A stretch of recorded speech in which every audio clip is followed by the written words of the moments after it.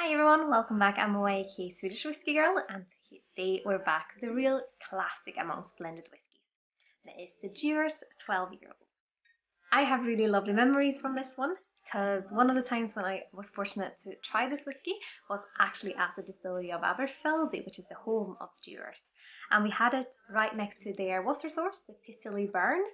And when we walked up to the water source, they were all lined up right next to this of wee little waterfall and you got to sip your dram next to the water source outside on a cold February day. So definitely a lovely memory. And one of the things I really loved when we were at the distilleries was seeing these old vintage kind of advertisements that they had.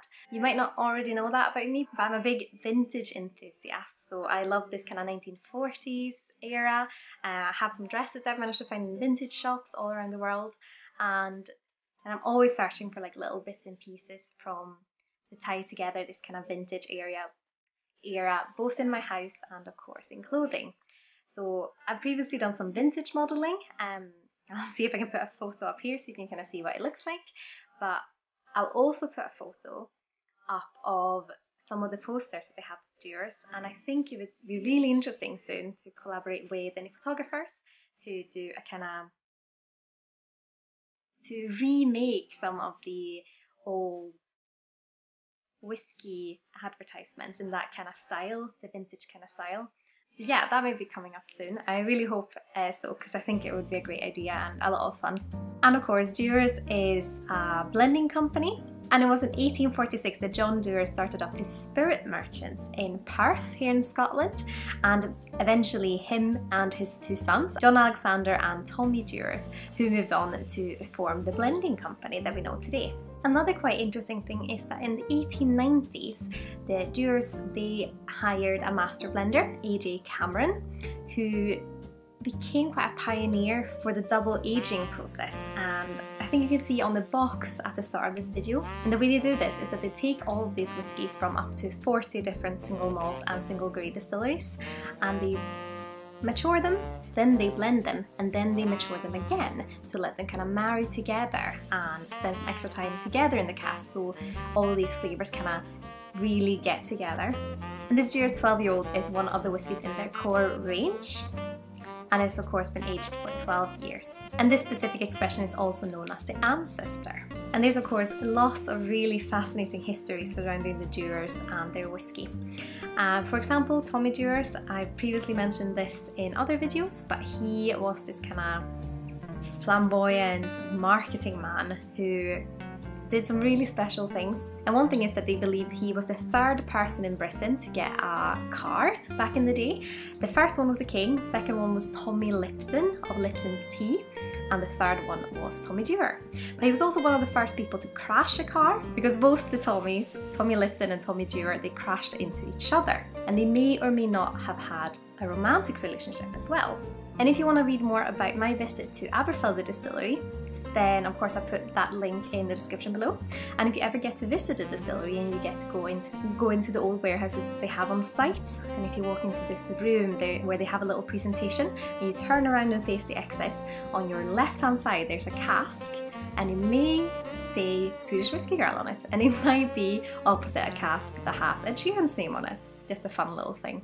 Because we were lucky enough to get to sign a cask when we were there, and it was one of my best distillery visits. It, was really lovely and we got shown around by Matthew, one of their brand ambassadors, so it was a really lovely day. But let's get to trying this whiskey. We'll start on the nose. It smells so like sweet and fruity.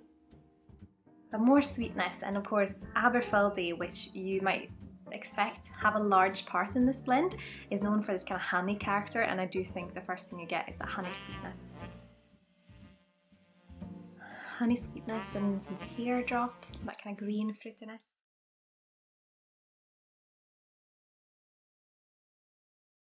And some cereals in there as well, alongside this kind of tropical notes, maybe a little bit of pineapple as well.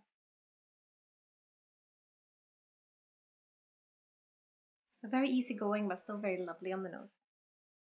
And this one, of course, is at 40% ABV. But let's have a little taste. Slàinte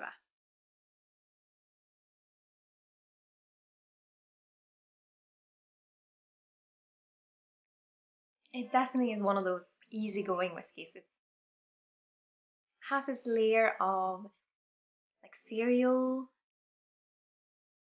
I don't know how to describe it. It's like a dry, musty cereal note underneath, and then you have this kind of lovely green fruit fruitiness on top, and then surrounding all of that is that honey sweetness. It definitely has this lingering kind of cereal note as well.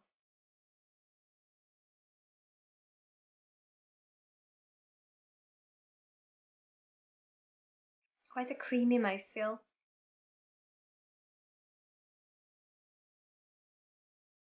It doesn't have that kind of green sweetness that you get on some blends, I think, initially.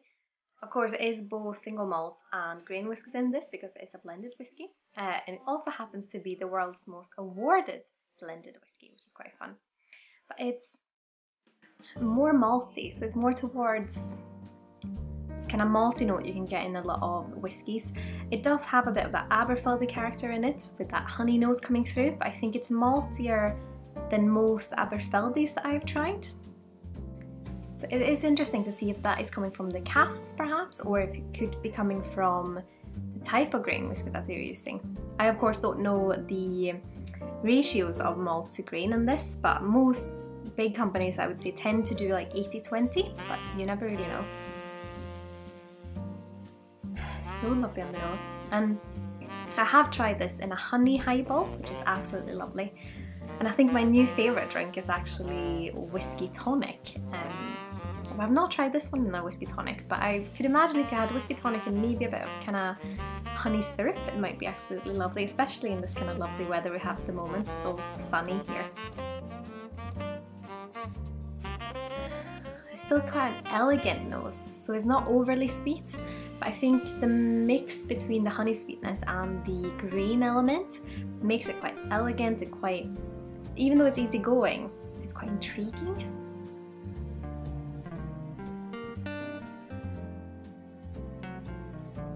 It has this oily element and a slight spice, like a vegetal cinnamon spice on the tongue.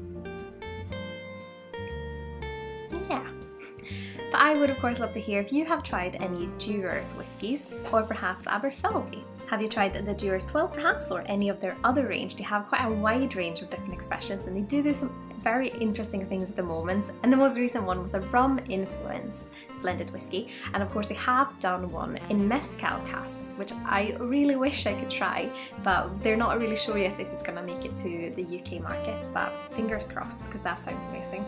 And also, if you're looking for really nice tumblers, the Dewar's have these amazing ones. It's probably my favourite tumbler to date. They're very kind of heavy and they feel very robust and they are the perfect kind of size for whatever you would drink out of a tumbler. So I really do like these. And of course, even if you drink your whiskey out of it, it will give you this nice feeling of just sitting with a tumbler. And of course has this Dewar's knots all around it, which combines the three Ds for the three men that started up the company. John Dewar, John Alexander and Tommy Dewar. So yeah, if you're looking for a good tumbler, I could definitely recommend this one. And of course, if you would like to support me, I would of course be absolutely over the moon if you consider using my affiliate links with Master Malt, the Whiskey Exchange or the SMWS. All of that information is in the description below, as well as links to my blog, my website, my Instagram and my Patreon if you're curious about that. And as always, a massive, massive thank you to my wonderful Patreons who keep supporting me. You guys are amazing. And I'm so, so happy you want to continue to support me on this journey. But as always, I hope you all had an absolutely wonderful day. Slán Skål!